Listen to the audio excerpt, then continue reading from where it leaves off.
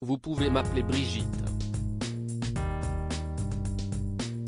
C'est en toute simplicité et avec sincérité que Brigitte Macron a répondu à cette lecteur du Parisien aujourd'hui en France pour un entretien mis en ligne ce mercredi 11 janvier sur le site internet de nos confrères.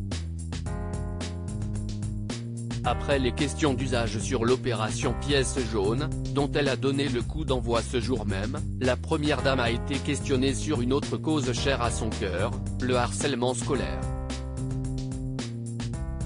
Interrogée plus précisément sur la multiplication des numéros verts auxquels peuvent faire appel les mineurs victimes de ce fléau, l'épouse du président de la République a surpris nos confrères en faisant part de son désaccord avec la politique menée par l'exécutif.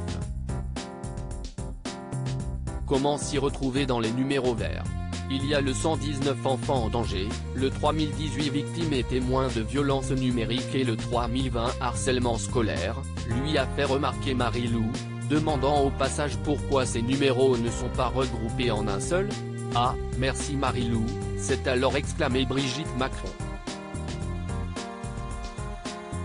Et d'enchaîner, je voudrais une simplification, parce que plus il y a de numéros, moins on les retient.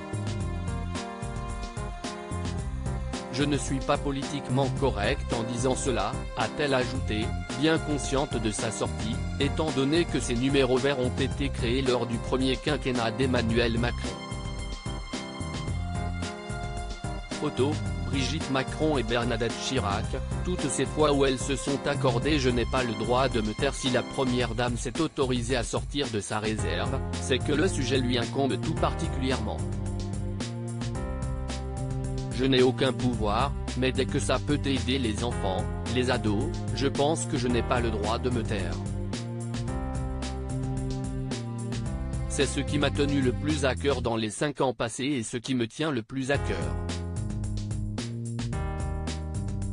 J'ai l'impression que s'il y a une raison pour laquelle je suis là, c'est pour faire avancer cette cause, a-t-elle alors souligné